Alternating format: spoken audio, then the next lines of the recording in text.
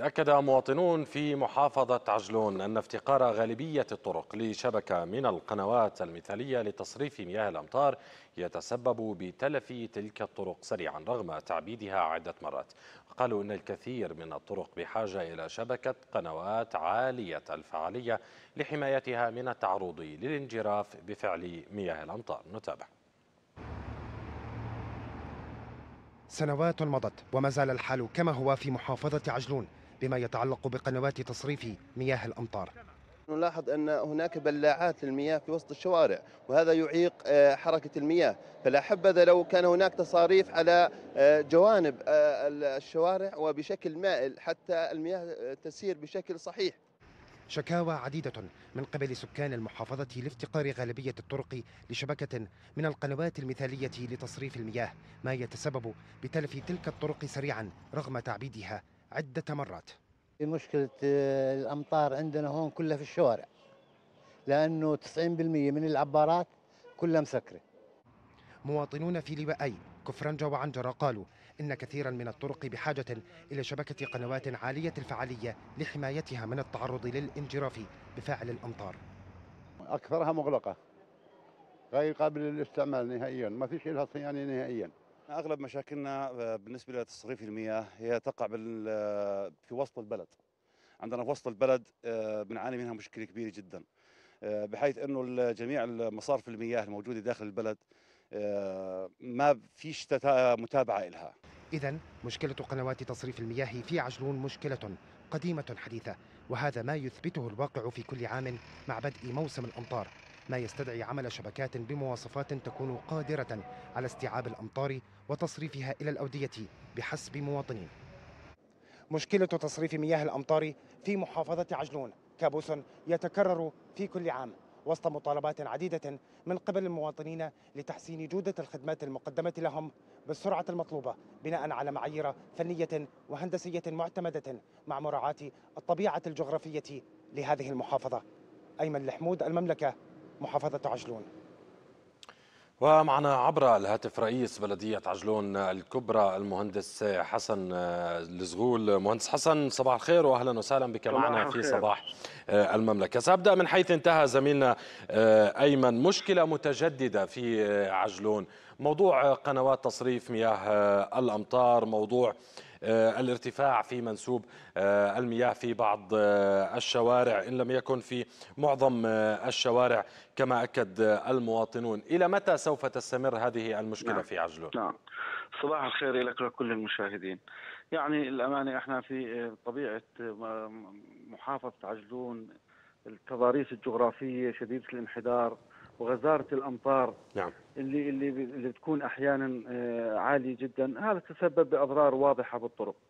موضوع ال ال ال ال قنوات تصريف مياه الأمطار وصيانتها بالعكس نحن نقوم كبلدية عجلون الكبرى قبل بداية كل فصل الشتاء نقوم بصيانة هذه المجاري وتنظيفها. وأيضا كمان يعني الأودية والأماكن المنخفضة التي يتم فيها جريان مياه الأمطار نقوم بصيانتها بشكل دائم نعم هناك يعني بعض أنا بدي أسألك سؤال أنا بدي أسألك سؤال نعم. مهندس بشكل مباشر هل أنتم راضون عن حالتها 100%؟ نعم يعني نحكي القنوات تصريف مياه الأمطار الموجودة في في وسط المدينة وفي الأسواق هي بكفاءة عالية ونقوم بصيانتها باستمرار ولكن إذا كان الحديث عن الأطراف وعن الأماكن المرتفعة نعم هناك يعني لظروف المناطق ووعورتها والتكلفة العالية للصيانة وإنشاء هذه القنوات يحول دون تنفيذها بالشكل المطلوب. نعم يعني أنا بتحدث معك مهندس وأنت ابن المنطقة وبالتأكيد بتعرفها أكثر مني ومن كثير من الأشخاص. ما ذنب هؤلاء الأشخاص؟ زي ما تحدثت في الأطراف لو, لو يعني توافقنا بأنه في المناطق المكتظة وفي الوسط الأمور بخير. ما ذنب هؤلاء الأشخاص بالأطراف؟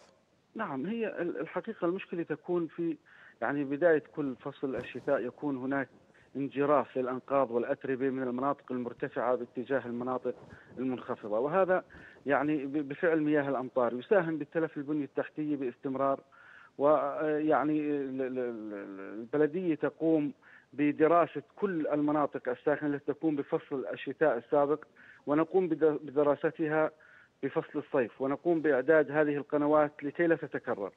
هذا هذا الموضوع نحن يعني أولوية بالنسبة لبلدية عجلون الكبرى وموضوع تصريف قنوات المياه ومجاري السيول. آه، ولكن زي ما حكيت لك هي التكلفة العالية نتيجة وعورة المنطقة لإنشاء هذه العبارات. يعني يوجد نقص في المخصصات؟ نعم نعم أكيد. يعني بلديه عجلون من البلديات التي تعاني من ضائقة مالية ومديونية تصل إلى 7 مليون. وهذا كله يؤثر على تقديم الخدمة الأفضل لمواطنينا في محافظة عجلون. طب آه، المطالبات من ال- المركز التواصل مع ال- المركز لحل آه، هذه ال- المشكلة لما نحكي عن محافظة عجلون نحكي لربما بديش بديش آه، أأكد من أكثر نعم. المناطق في الأردن اللي فيها أمطار صحيح صحيح لا هو هي يعني كل موازنة آه، البلدية نقوم في كل عام بتخصيص مبالغ لتصريف قنوات مياه الأمطار ولعمل عبارات صندوقية. وقمنا في العام 2020 قمنا بعمل عبارات صندوقية آه، بما يقارب الربع مليون. آه، ونحن إن شاء الله يعني آه، في ال- العام القادم سيكون أيضا هناك مناطق أخرى وتم تخصيص من موازنة ال- ال- 2021 أيضا مبلغ آه، 350 ألف لتصريف آه، مياه الأمطار وعمل عبارات صندوقية لتلافي حدوث آه، المشاكل التي تحدث في آه، البنية التحتية للشوارع وإتلافها باستمرار نعم لو لو افترضنا بأنه الفلوس زي الرز زي ما بيقولوا آه، نعم. مهندس ما هو الحل نعم. الجذري لهذه المشكلة يعني يكون هناك دراسة دراسة شاملة لشبكة من القنوات المثالية بطرق يعني تكون بطرق آه، هندسية فنية آه، ملائمة للمنطقة آه، بال- بال- بالتأكيد سيحل جزء كبير من من مشكلة آه، التأثير على البنى التحتية في محافظة عجلون. نعم سؤال آه، أخير اسمح لي فيه آه، مهندس. في حال تضرر أحد المواطنين جراء مشكلة آه، تخص البلدية كيف يجري تعويضه؟ نعم يعني هو للأمانة يعني من ثلاث أعوام حتى الآن يعني لم يكون هناك ضرر مباشر على مواطنين في الأماكن المنخفضة أو في يعني مداهمة آه، مياه لبيوت أو ما إلى ذلك. لم يكون هناك. حتى في آه، ال- الأوقات التي كان هناك غزارة آه، في سقوط الأمطار الحمد لله لم تواجه البلدية قضايا من هذا النوع خلال الفترة الماضية. ولكن إذا كان هناك في ضرر نعم يكون هناك القضاء هو الفيصل بين البلدية والضرر الذي حدث على المواطنين. نعم ونتمنى ألا تحدث آه، أضرار. بدي أشكرك جدا المهندس حسن الصغور رئيس بلدية عجلون. كنت معنا عبر الهاتف. سعد صباحك.